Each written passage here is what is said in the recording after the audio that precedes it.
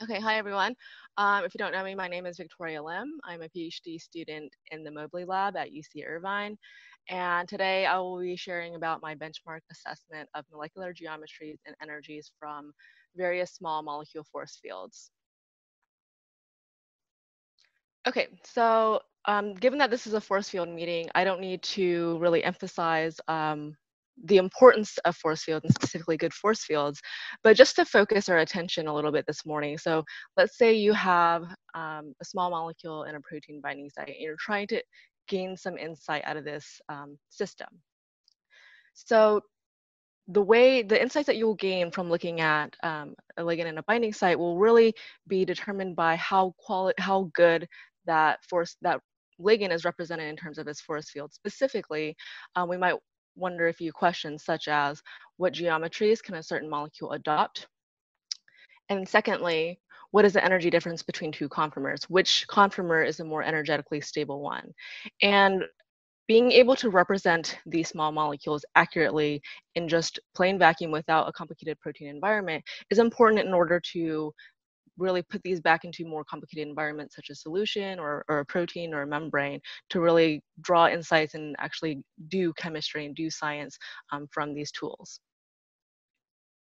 So just to present a high level view of my workflow so you can get an idea of what's going on.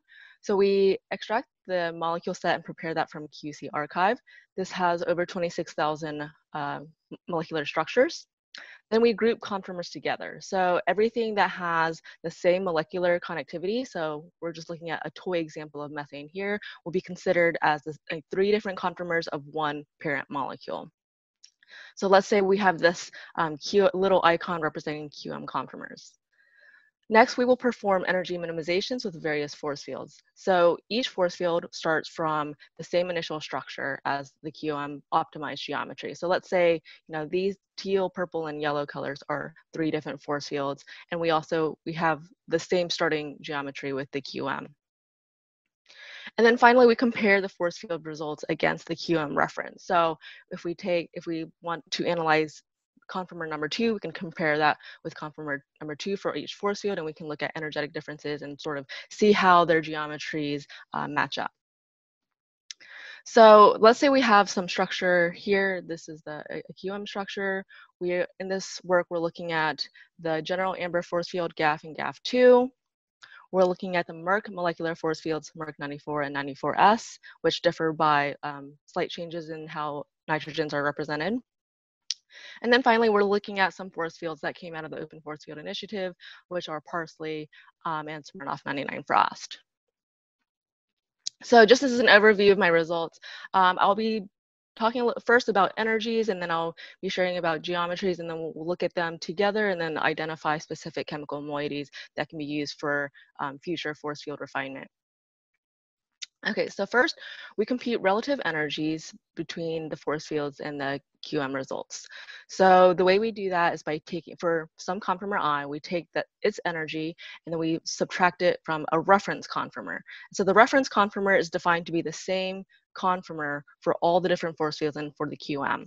And the we choose a reference conformer by identifying which conformer set so for example, if this blue, um, in, in this blue uh, rectangle here, let's say maybe the, the reference, the lowest energy is this first one. So we'll say this is the first, the first conformer will be the lowest energy that will be reference zero. And that will apply that reference for all force fields. So um, with this, we have histogram the, the change in conformer energies in this um, histogram plot here. And so we see that um, there are a few different tiers around DDE equals zero, so the, the change in conformer energy. So ideally, um, a perfect force field that completely reproduced the quantum, uh, quantum conformer energy difference would have just a really high peak at zero and very low um, uh, histogram um, tails otherwise. So we, here we see that um, generally GAFF and GAFF2 are the highest around zero and then followed by, um, and Parsley is up in here too, it's um, sort of hidden uh, among the blue. Um, and then we have Merck molecular force field 94 and 94S, and then we can see SMIRNOFF. So you can see that Parsley um, truly does improve upon SMIRNOFF. And then um, something that's pretty obvious in this graph is that there is asymmetry in terms of if a force field overestimates which would be on this side, or underestimates um, the conformer energy, especially with SMIRNOFF 99 Frosst, which has the highest um, difference between um, the, the left and right sides. Okay, so um, we decided to extend our energetic analysis further, um, thinking that so a, a, certain force field, like if you have a, a certain set of structures, um, and they all start from the same structure, they will not always minimize to the same structure. So you might have um, some of some um, redundant geometries in your conformer set. So we want to say, okay, given that we have um, matching conformers, then what are the relative energies of between different conformers? So we match all conformers re with respect to a QM reference within one angstrom RMSD, and then we compute the mean time deviation of energy. So just taking the force field energy minus the QM energies. So this is very analogous to the histogram that I showed in the last slide, but this is just um, one with matched conformers and two now looking at the mean time deviation so you can um, see that in a little bit more clearly. So this is on log scale. And if we're showing the different force fields here, you can see that they're all very similar. It's hard to distinguish any differences, but you do see that there is um, the median of all these points is below zero, also um, reflecting that asymmetry that we see in um, the force field results. So just to zoom in on this a little bit more, if we overlay all the different force fields as in here, and then we zoom in, we can see that um, we see the blue, orange, and purple curves being on the outside. So these are normalized by area. So each area is the same for um, for all the force fields, then we can see that um, these are slightly better because we would like ideally to see a, a much broader distribution at zero and then very um, low amounts of data in, in the tail regions at high and low conformer energy. Okay, so we're gonna change um, focus a little bit here to talk about geometries and then we'll take a look after that about how they relate to each other. Okay, so in this work, we're looking at two different metrics to evaluate geometry, and one is RMSD that um, is generally more well known and more well used. Um, but another thing that we're looking at is called TFD, which is torsion fingerprint deviation. Now, the reason that we want to look at TFD is that our RMSD has been known to correlate with molecular size.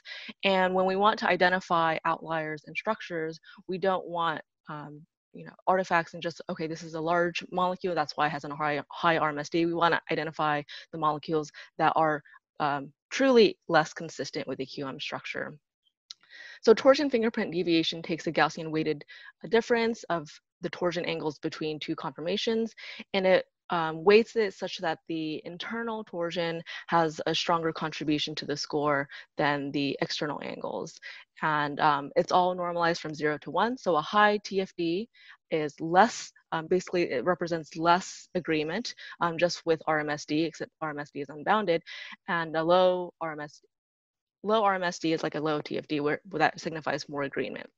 So we hope that this is more independent molecular size in order to basically compare two geometries.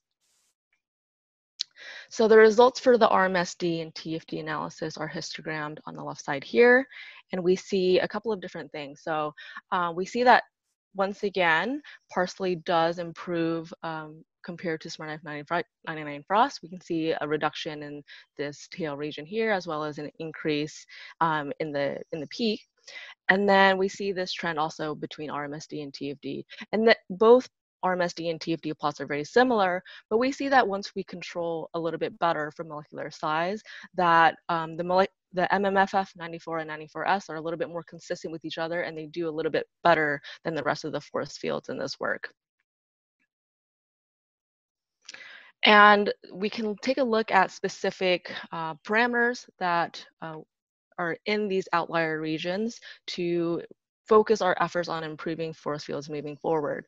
So the way we do that is by identifying um, if we take all the structures like so here we have three different conformers that are represented in the in the tail region of the RMSD or TFD plot how we can ask ourselves how what is the fraction of this parameter in just that tail region and then what is the fraction of this parameter in the whole set so if we have in this, um, in the RMSD and TFD plots, each conformer was considered separately. So we're plotting each individual structure. But when we're actually doing this analysis, we say, okay, if we see this conformer three times, but this molecule is only here once, and if this molecule has a certain number of um, uh, repetitions of that particular parameter, it just counts once. So here, you know, for these three conformers in this, small in this, all these um, parameters, B83 would count one time. So we can get something, um, just a series of bar plots that really show us, okay, um, if if a parameter is above one, then that is overrepresented in terms of the tails of the RMSD or TFD. And these might be the parameters that we want to focus on. For example, um, these ones or um, these van der Waals parameters or these angles. Um, but so now we're going to um, turn our little or turn our focus to looking at relative energies versus geometries. So here, basically, we, we've looked at the geometries and energy separately. Now we're just looking at them together. Is there a relationship um, between the energies and geometries?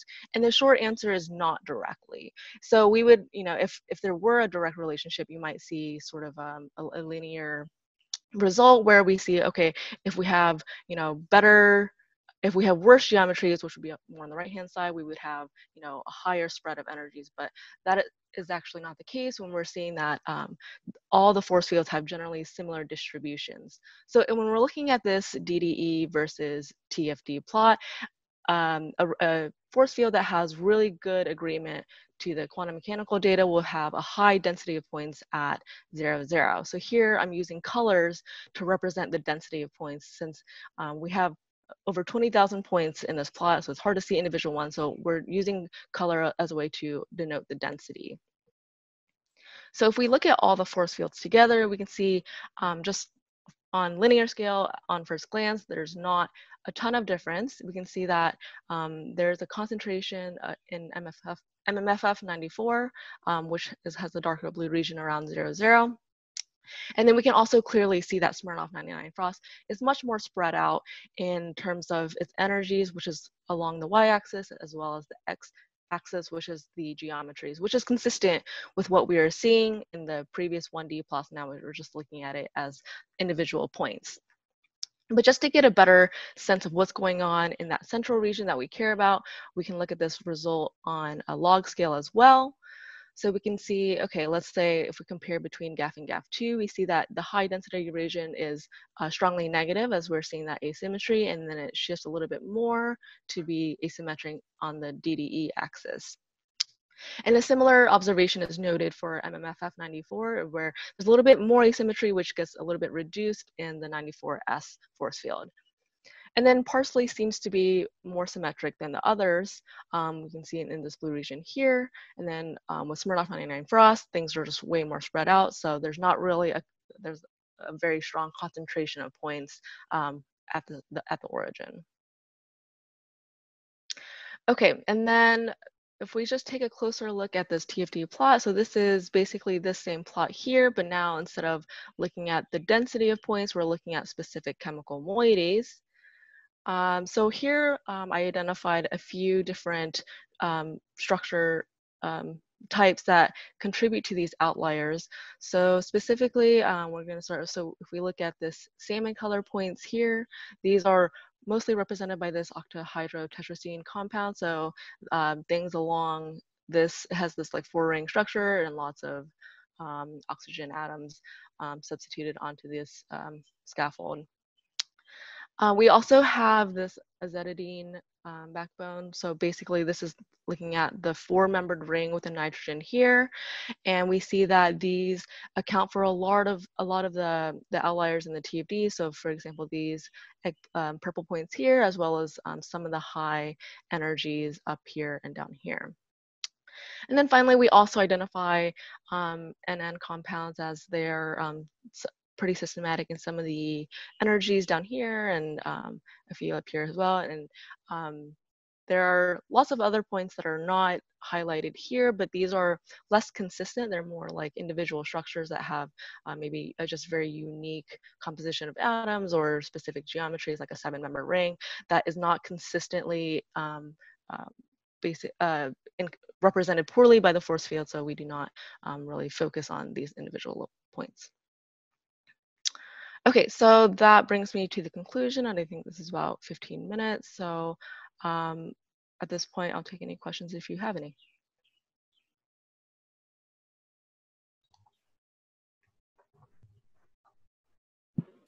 Just uh, really sure whether it's a question, but the, these plots of um, differences in energy as a function of uh, uh, deviation in structure, mm -hmm, they, right. They don't seem intuitive. I mean, I don't quite grasp them. And um, as you say, one the expectation is that one, one should get a linear kind of shift um, as, as the energy deviation increases, so, so should the, the structural deviation.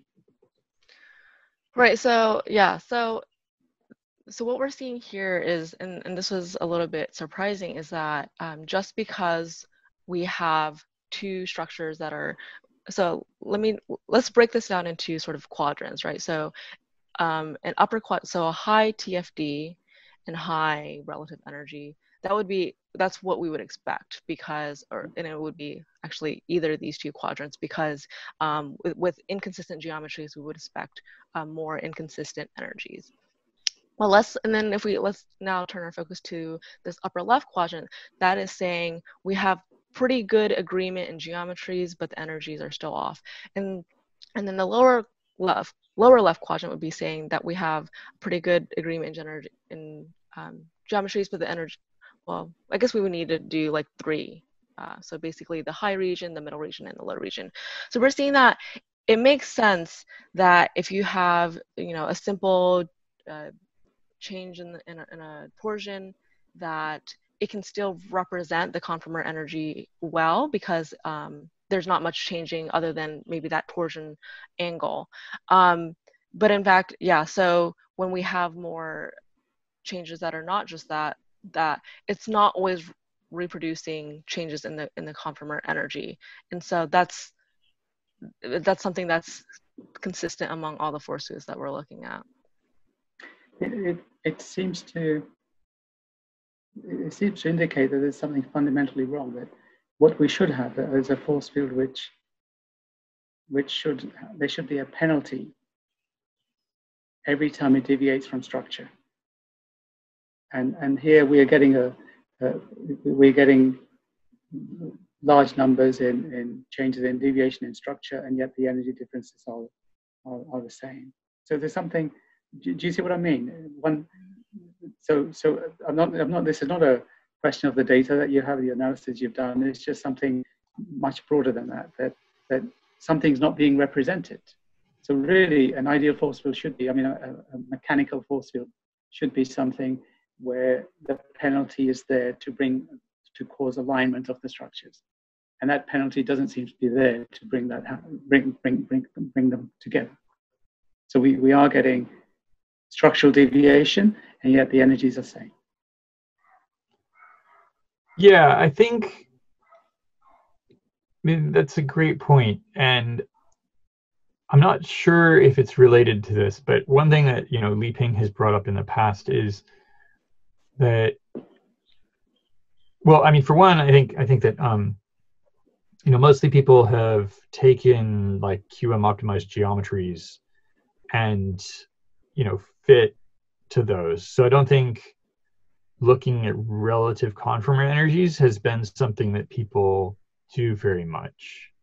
So you're, you're, you know, when it's fitting to try to get the geometries right to some extent, but um, and then the, you know, the energetics for maybe variation around an optim a single optimized geometry.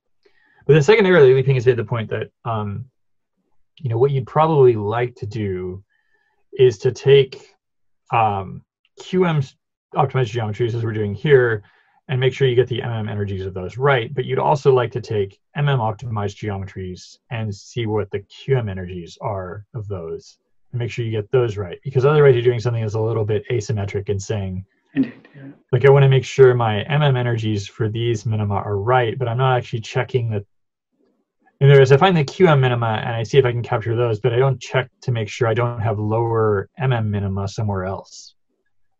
I understand. Yeah. Yeah. yeah. Hmm.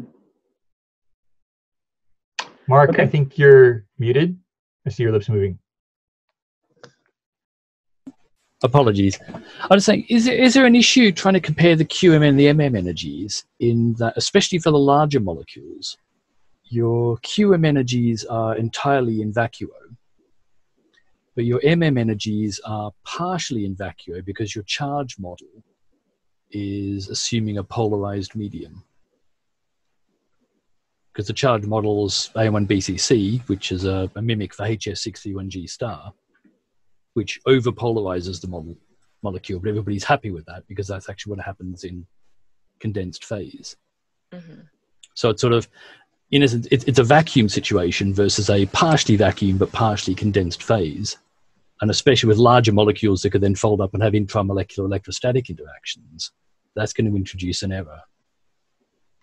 I have yeah, no idea how you'd correct for that, but um, that's a good point. And I right now I don't correct for that, and you know that could ex- explain some of the inconsistent energies that we see yeah that's certainly and that's certainly a challenging problem because yeah as you said i don't it's hard to know what the right answer is to that i, I can't see any easy way of fixing it but yeah, it, it's always going to introduce an error so there's going to be a limit to how good you can be i would have thought one one could of course carry out QM calculations um, in some sort of in the same sort of dielectric that we expect to be in, in the electromechanics field. That might be an approach, yeah. Yeah. Some of these issues are issues where you know, at some level, it's easy to argue that well, the only real way to resolve some of them is to have some kind of a polarizable force field, because otherwise, you just get kind of stuck with not knowing what the right way to compare to anything is. But but yeah, that'll remain, I think, challenging when we're dealing with fixed charge force fields. So I wish I knew what the best thing to do is. Um, yeah, part part of the answer I think is well, you know, these issues should be bigger for larger and floppier molecules. So mm-hmm. we may want to separately look at like the smaller size size range. Maybe you want to break some of these benchmarks out by size eventually. And as only, especially molecules can do things like form intramolecular hydrogen bonds and so on, are likely to end up being big outliers on these sort of plots. Yeah. I possibly ask one more? Uh, do have time? Uh, Victoria, you, you, you mentioned that the RMSD that comes out, that's unbounded. Is it not normal to normalize that with respect to number of particles? Uh, yeah, I, mean, I meant that. I meant to say that between, if we're looking at a diverse set of molecules, um, the RMSD will depend a little bit more on molecular size. So, you know, a high RMSD might signify that it's a very large and flexible molecule, or it might say that, oh, it's a it's a smaller molecule but has a high, you know, deviation in geometries. So it's unbounded in the sense that it's not normalized between zero and one. Hmm. Okay. But, it, but it, yes, it is limited by the size of the molecule. Thank you.